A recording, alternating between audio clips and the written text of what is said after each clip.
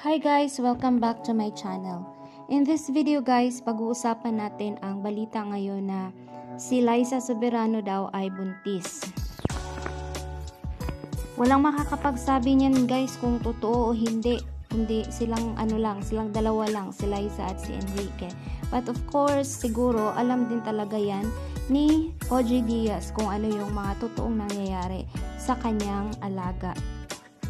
Sa isang vlog ni OG Diaz guys, ay nilinaw niya ang mga espekulasyon tungkol dito. At diretsahan niyang sinagot at inamin ang ang issue na ito para ano parang para malinawan ang mga marites diyan sa paligid. Sa kanyang vlog, sinabi niya, inamin niya na ang issue tungkol sa pagbubuntis ni Liza Soberano ay walang katotohanan. Ang issue ito guys ay nanggaling lang doon sa Instagram post ni Liza na uh, magkasama niya si Enrique na medyo napaliyad siya kaya medyo uh, malaki tingnan ang kanyang chan. So dahil nga sikat sila at marami silang mga followers, um, marami sa kanilang mga followers at fans ay nagsasabi na baka buntis si uh, si Liza Soberano at sinabi din nila na baka kaya nasa US si Liza ay para itago ang kanyang pagbubuntis.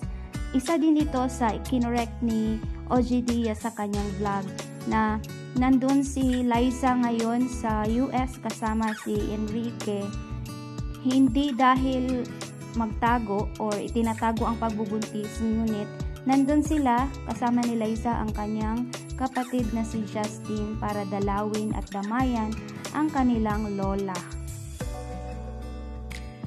Sinabi pa ni OG Diaz guys na si Liza at si uh, Enrique ay darating din sa point na yon na sila ay magsasama at mag-aasawa in the future pero hindi pa sa ngayon. Sana guys na kontento kayo sa sinabing iyon ng kanyang manager. At anyway, malalaman naman natin yan pagdating ng mga araw kung totoo nga o hindi. Ano ang masasabi mo tungkol sa isyong ito? Comment your thought below guys.